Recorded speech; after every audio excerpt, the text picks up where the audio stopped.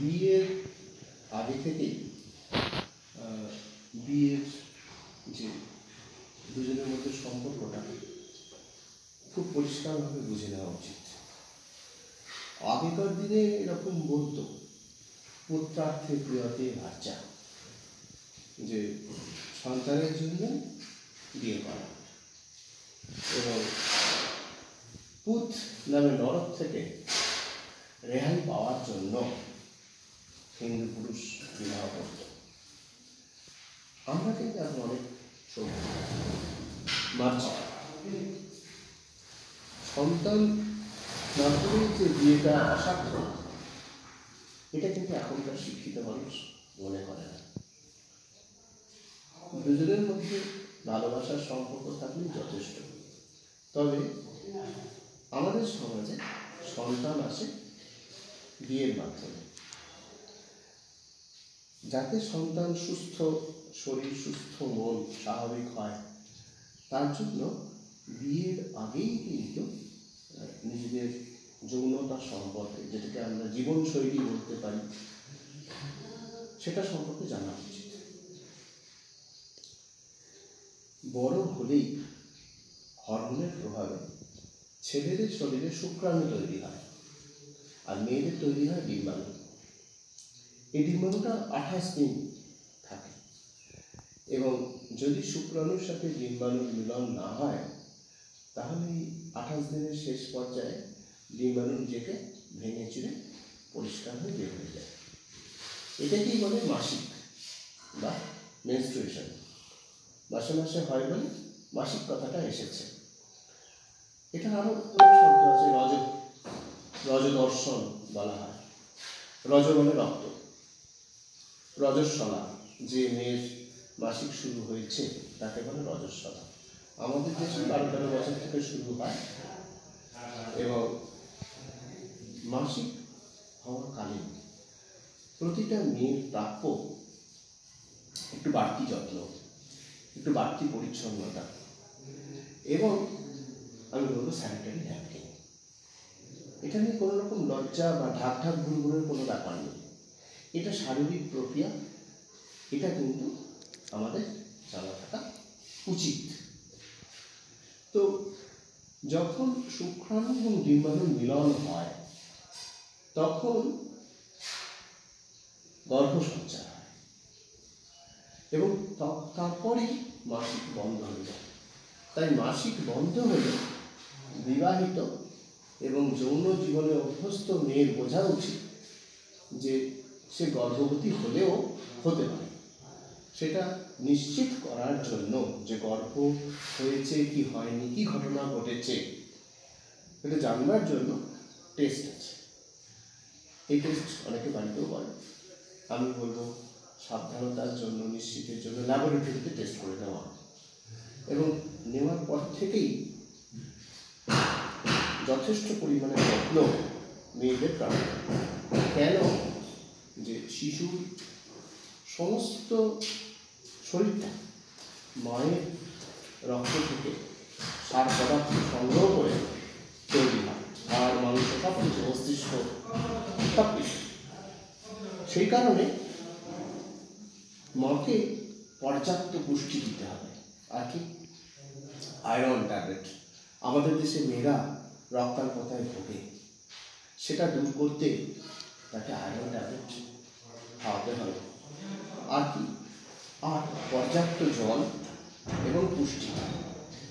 পুষ্টি মানে এই নয় যে খুব দামি দামি খাবার খেতে হবে। আমাদের ঘরোয়া খাবারেও কিন্তু পর্যাপ্ত পুষ্টি আছে। আমি ডিমের কথা বলতে পারি। ডিম।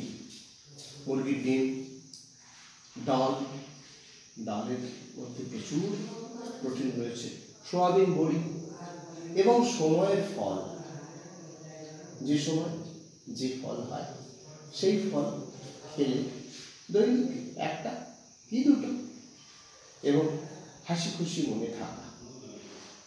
হালকা কাজ, ব্যায়াম, গল্প বই পড়া, একটু আধটু গানের অভ্যাস, এরকম একটা সুস্থ জীবন যদি হয় মায়ের গর্ভাবস্থায়, তাহলে বাচ্চা ভালো হওয়া সম্ভব আর ইমিউনাইজেশন কতগুলো টিকা থাকে হাসপাতালে যোগাযোগ করলেই হাসপাতালে ডাক্তার চার্ট করে বুঝিয়ে দেবেন যে কখন কোন টিকাটা দিতে হবে।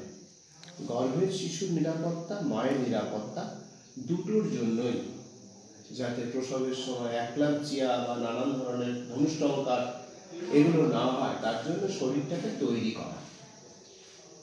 আর কি? আর হচ্ছে বাচ্চা হওয়ার পর বাচ্চা কিন্তু ছ মাস অব্দি শুধু মায়ের বুকের দুধ খাবে।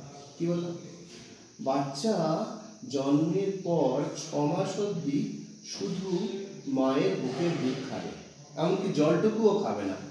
গরুর দুধ তো নয়, অন্য কোনো কিছু নয়, কোনো টিনের দুধ নয়, মায়ের বুকের দুধ খাবে। সেটাই তার একমাত্র খাবার এবং একমাত্র পানীয়।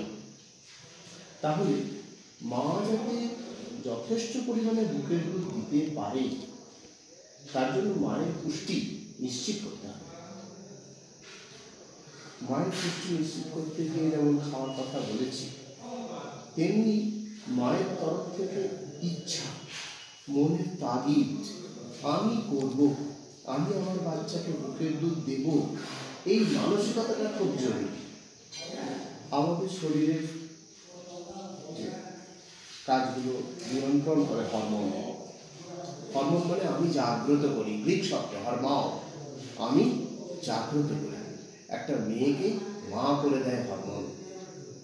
সেই পিটুইটারি গ্ল্যান্ড কিন্তু মাথার ভিতরে বসে থেকে এই কাজটা পরিচালনা করে। একটি মেয়ে যদি চায় যে আমি মা হয়েছি, আমি বাচ্চাকে বুকের দুধ দেব, এই চাপাটাই তাকে অনেকটা সহযোগিতা করে।